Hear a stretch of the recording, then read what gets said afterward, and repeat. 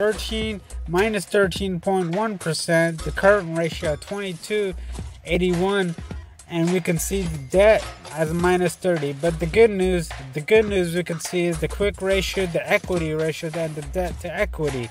And when we're looking at the MOS percentage the margin of safety we're looking at a 100% but the good news the good news we have a TI alert which is uh which, which is at a buy all charts move to the positive area this is looking good so maybe the timing for Hexo company is looking good what did the people have to say about Hexo? The Hexo. What did the people have to say about Hexo? Well, we can see we can see West One over here says this applies to all within the sector. Bears wake up. This is bigger than chump change. He's looking bullish. We can see that the Hexo watching. We can see that 28 grams is looking at Hexo. We can see that all these people are bullish over here are slightly weekends are slightly boring. Come on. Um, we can, and we can see Silent Ghost. What are you all think about hemp? A good stock to invest in the long run.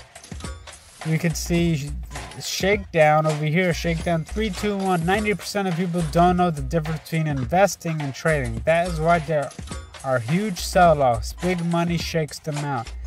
And we see they're looking bullish over here. We'll, we can see that there's no better to invest in these two companies, HEXO. This is what Shakedown recommends. Hexo and this other company over here. We can see Supercat. Hopefully we see a steady run up to the ER. These are all these are all recent too. You can see at 1:41 p.m. This is recent stuff. This is earlier today. So we can see the time for vacation people. Aloha serve and you got a little funny meme over here.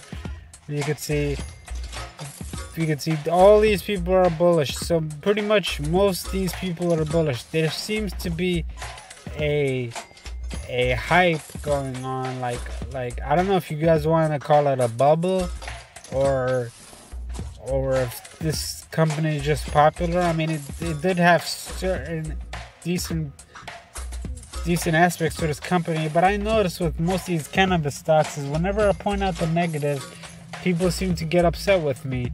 I'm just trying to be fair. I'm trying to be honest. I'm trying to give you guys real, straight up information. No, no bias information. I'm not funded by anybody. So, so as you guys can see, people shouldn't get mad at me when I give the honest critique on the fundamentals and the analysis of the company. When I when I base when I analyze the fundamentals and the technical aspects of the company, you can see bag, bag balm over here is outperforming most other marijuanas today. You can see they're they're looking bullish. So so we could see this it's it's looking pretty bullish over here. Hexo looks like some people day traders starting taking profits in the 541 range. Setting up to head north, expect the next days to be green. All these people seem to be, most of these people seem to be bullish about Hexo. See Hexo hit $7. This is Michael Scott. Got a funny Steve Carell picture. But, whoops.